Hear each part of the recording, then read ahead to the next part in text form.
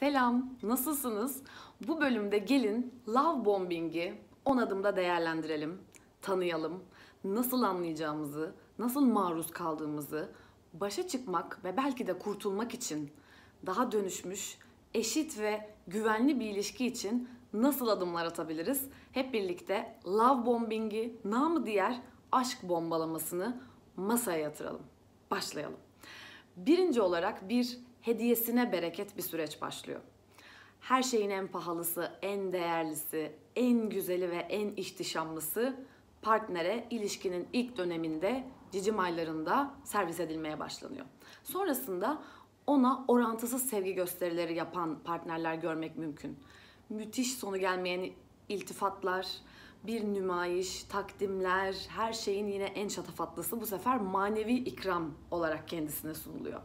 Üçüncüsü ona minik tatlı sürprizler, ardı arkası kesilmiyor. Bulutların üstünde bir yaşam vaadi sevgiliye neredeyse altın tepsiyle sunulmuş oluyor. Peki nesi kötü ki bunların diye düşünürken aslında ilişkinin başında ayakları yerden kesen, asla bitmeyecekmiş gibi, hep böyle olacakmış gibi sürdürülen ve sunulan yaklaşım, ilgi ve yaşam tarzı birdenbire prizden çeker gibi elektrik kesiliyor ve partner neye uğradığını şaşırıyor. Neredeyse kurban rolüne düşüyor. Ve bu durumda fark etmek elbette yolun yarısı bizler için. Ülkemizde şiddet kelimesi çok öncelerde sadece fiziksel şiddet olarak karşılığını buluyordu. Hatta adli tıp raporumuz yoksa, bir raporla ispatlayamıyorsak, kanıtımız yoksa neredeyse şiddete maruz kaldığımız, birinin birine şiddet gösterdiğini ispatlamak, tanıklık etmek dosya kapsama haricinde hiçbir değer taşımıyordu. Fakat geldiğimiz zamanda, şimdiki zamanda birçok şiddet türünün ismini zikrediyoruz, anlamaya çalışıyoruz. Yaşamımızda böyle gelmiş, böyle gider denilen yerlere aslında anlam dünyamız için çimdik atmış oluyoruz. Neler var? Psikolojik şiddet var, ekonomik, sosyal şiddet, cinsel şiddet, sanal şiddet bunlardan birkaçı ve en önemlileri tabii ki psikolojik şiddeti diğer şiddet türlerinden ayırmak hayli zor. Çünkü ilişkilere dair, cinsiyetlere dair, e, bu ülkede hangi mesleklerin, hangi durumların nasıl yaşanacağına dair çok fazla ön kabulümüz var, yargımız var ve buna göre davranmak, buna göre olmak sanki normalmiş gibi. İlişkilerde de bu haller sanki normalmiş gibi davranmak aslında bizim rutinimiz olmuş. Ve bunları fark etmek elbette yolun yarısı. Peki sizce ne yapmak, ne etmek duygusal şiddettir? Hep beraber bir düşünmek için 30 saniye kendinize zaman ayırmanızı rica ediyorum. Ne yapmak, ne etmek duygusal şiddet olabilir? Aşağılamak, yalnız hissettirme, değersiz hissettirme, bazen bir bakış, bazen bir ses tonu, bazen kıyaslamak, onu beceriksiz kılmak, değersiz hissettirmek aslında benim ilk aklıma gelenler. Siz nasıl çoğaltıyorsunuz? Lütfen bana videoda yorumlarda yazın anlam dünyamızı ve e, ilişkilerde karşımıza çıkan birçok konuyu birlikte değerlendirip büyütelim lütfen. Burada ön kabuller ilişki koşullarından ayırmamızı hayli zorlaştırıyor. Ne duygusal şiddet ne bir ilişkinin olmazsa olmazı. Burada duygusal şiddeti ve böyle gelmiş böyle gider tabusunu yıkmanın tam zamanı bizler için.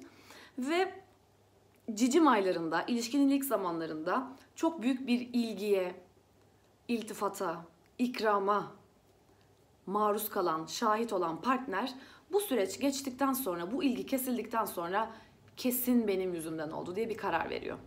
Ve bundan sonra elbette şüpheye düşüyor. Büyük korku dolu zamanlar ne yazık ki onu bekliyor ve kaygı demetiniz hazır. Güven problemleri, geçmişi sürekli tekrar ederek geleceği yaşamaktan, geleceği olgunlaştırmaktan, anda yeni seçimler yapmaktan imtina etmek ne yazık ki kaygı paketinin içinde. Bundan sonrasına dair asla şöyle olmasın, kimseye güvenmeyeceğim. Zaten erkekler şöyle, zaten kadınlar böyle diye genellemelere başladığımız süreç ne yazık ki bu tarz durumlarda oluyor. Ve bir tehlikeli konu da ilişkilerin ilk zamanlarında olur böyle şeyler diyerek aslında flört mitleri karşımıza çıkıyor ve flört mitlerini artık lütfen tatile çıkaralım. Bir kerelik olmuştur.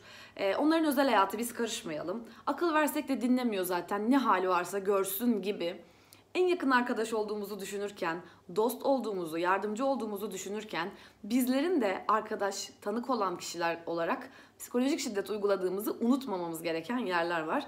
Bizim de çorbada tuzumuz olsun. Her zaman talep isteyen, destek isteyen bir arkadaşımıza nereden destek alabileceğini, hangi yolu izleyebileceğini tavsiye edebiliriz. Ona akıl vermekle destek olması için yüreklendirmek, destek alması için yüreklendirmek arasındaki farkı bildiğimizi düşünerek aslında en yakın arkadaşlık terörüne de bir son vermemiz gerektiğini düşünüyorum bu noktada.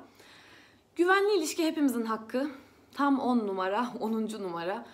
E, hepimizin aslında bedensel ve e, topluma dair ön kabullerin dışında aslında çok aynı ihtiyaçlarımız var. Hepimizin sevgiye, e, beşeri ihtiyaçlarımızı yemek yemek, eğitim almak, para kazanmak, adaleti hissetmek, özgür olmak, e, aile olmak, sosyal bir çevrede yaşamak bunun gibi birçok şeye aynı anda ihtiyacımız var ve bu noktada aramızdaki çizgiyi lütfen kaldıralım.